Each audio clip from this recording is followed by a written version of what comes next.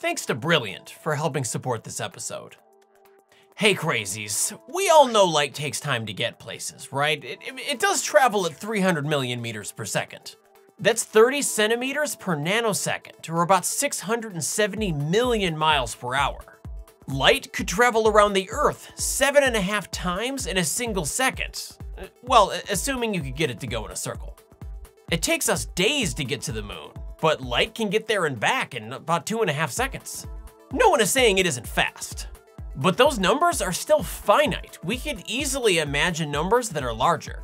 1 billion meters per second, for example. Why can't light go that speed?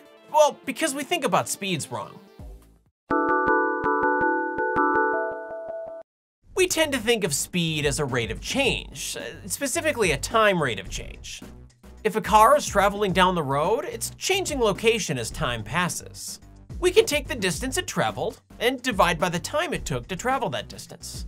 That measurement could be in meters per second, or feet per second, or kilometers per hour, or miles per hour, or something like that. A unit of distance over a unit of time. So what's the problem with that? It, it fails at significant fractions of the speed of light. We might think cars are pretty fast. They're a lot faster than walking or running. Planes and spacecraft are even faster. But none of those are moving anywhere near the speed of light. Even tiny subatomic particles, while fast, are traveling slower than light. The speed of light appears to be the fastest speed. Fast, fast! But what if we're in a rocket traveling at 90% the speed of light and we launch a projectile at 11% the speed of light? Yeah, wouldn't that be 101% the speed of light? Nope, it'd be 92% the speed of light. What? I told you, our intuitions fail at speeds that fast. If you're in a car driving at 30 miles per hour and you throw a ball at 15 miles per hour, our expectations say someone standing on the ground should see that ball going at 45 miles per hour. It's a relatively simple calculation. You just add the numbers together, right? Wrong! Uh, well, I mean, it works in this specific example, but in general, it's wrong. The equation actually has a big denominator. It's just that for the normal human experience, that denominator is effectively 1. For the rocket example, it's larger, which lowers the result from 101% to 92%. Why is that denominator even there? Because we insist on speed being distance over time for some reason. Like we saw earlier, we treat speed as a rate of change. If we take a bunch of snapshots at various moments, we can graph distance against time. The slope or incline of this line would be the speed. For another car moving slower, the line would be shallower. Smaller slope, smaller speed. For a third car moving faster, the line would be steeper. Larger slope, larger speed. But what if instead of using the slope, we use the angle? A car that isn't moving at all is gonna make a horizontal line on this graph. Let's measure all of our angles from there. Infinite speed, also known as magical teleportation, would be a vertical line. That's 90 degrees from the horizontal, which should be the biggest angle possible. All other speeds between zero and infinity would be measured as an angle between zero and 90. Faster objects would have a bigger angle. Slower objects, a shallower angle. Can you just make up a measurement like that? Sure, why not? All measurements are made up. Science. Do whatever works. As long as your definitions are logically consistent, you're fine. This new way of measuring speed is logically consistent. It just isn't what you're used to. And believe it or not, it, it happens to be the better choice. Remember our previous example? We were in a car traveling at 30 miles per hour and we threw a ball at 15? Here's the speed of the car, and here's the speed of the ball each represented as an angle. The speed of the ball relative to someone standing on the ground is just the two angles added together. The angles just add, which is the rule we originally wanted speed to follow. Unfortunately, traditional speed isn't measured as the angle of these lines. It's measured as the slope of these lines. Those slopes only add together when the angles are small. In other words, when the speeds are slow. If we're talking about rockets and projectiles going at significant fractions of the speed of light, then slopes do not simply add together. That means traditional speeds don't simply add together, but the angles still do. To avoid confusion, for the rest of this video, I'm gonna refer to that new angle speed as rapidity. That way I can stop saying traditional speed and just say speed. So long story short, speeds only add when they're small. Rapidity always adds. The problem with rapidity is that it's not measured in typical speed units. It's measured in angle units, like degrees, or better yet, radians, since that's a unitless unit. Our intuitions are not built on that, but we can convert. Trigonometry is the math that relates the sides of triangles to their angles. It's literally the entire point of trig. The slope of this path forms a right triangle, and trig tells us the slope is given by sine over cosine, which is just tangent and we have a nifty identity to help us add those together. Since tangent is just the slope and slope is just the speed, we could easily rewrite this with speeds instead. The angles may add together, but the slopes do not. That doesn't match the equation from earlier, you big doofus. Okay, okay, y you may have noticed a minor discrepancy in the formulas I gave you today.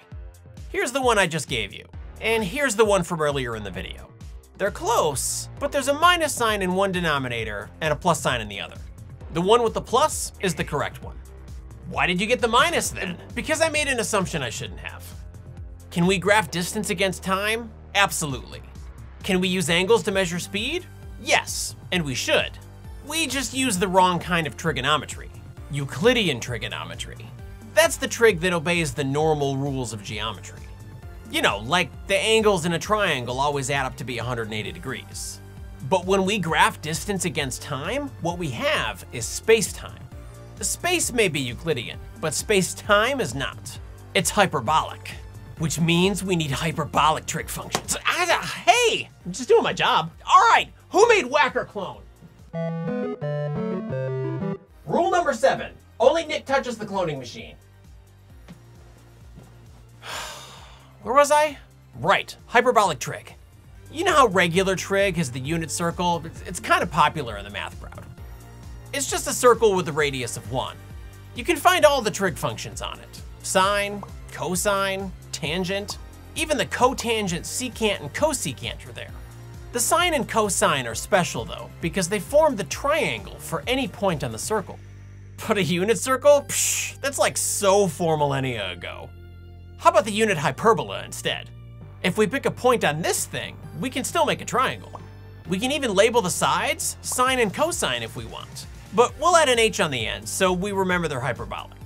Because let's not be totally ridiculous. Anyway, this fixes our sine problem.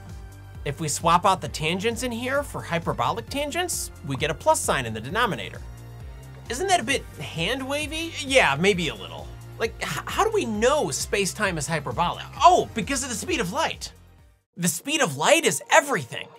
Speeds added together for the car example, but not the rocket example. Why not? The speed of light. More accurately called the speed of causality, it's exactly 299,792,458 meters per second. Not only is this the maximum speed at which two points in space can communicate, it's also a universal constant. It's exactly this number for all observers everywhere, no matter what. This is not a guess, it's an observation. Hyperbolic geometry has the same behavior. These paths are called asymptotes. They're the lines that all these hyperbolas approach, but never quite reach. That sounds a lot like the speed of light. If we set the slope of those lines to be the speed of light, we get a model that matches reality very well. Now, traditionally, the axes are reversed in space-time diagrams. But I'm gonna break with tradition to stay consistent throughout this video. If you wanna draw them reversed, you can. I'm not your dad. What matters is the result, and that's the same either way. Not only does this steadily accelerating rocket never reach that diagonal speed, that slope, any rocket traveling with any acceleration has the same limit. Speeds along those asymptotes are a universal constant, just like the speed of light. But why is that constant an upper limit? Because hyperbolically, it's infinite. What, what, what? I know, I know, it, it sounds crazy, but hear me out. Let's look at the rapidity instead. That's the angle with the horizontal.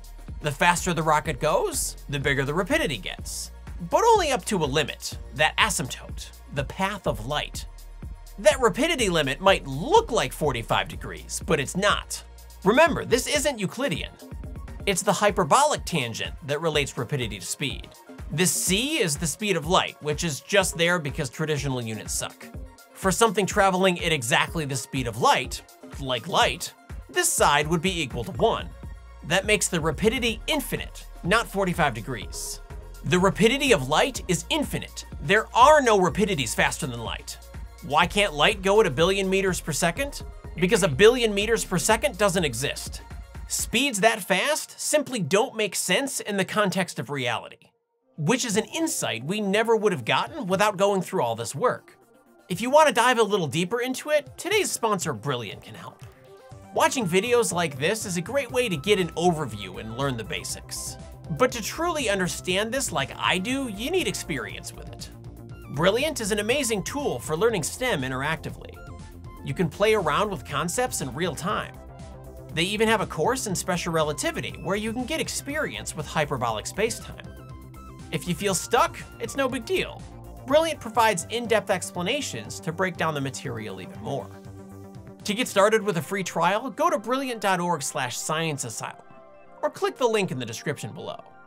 The first 200 of you will get 20% off Brilliant's annual premium subscription.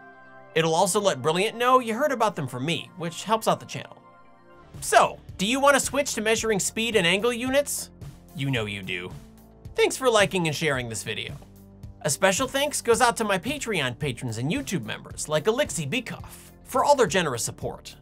Don't forget to subscribe if you'd like to keep up with us. And until next time, remember, it's okay to be a little crazy.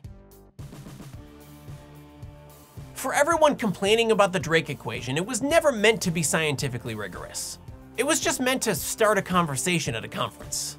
And if my comment section is any indication, that's something the Drake equation is very good at. Anyway, thanks for watching.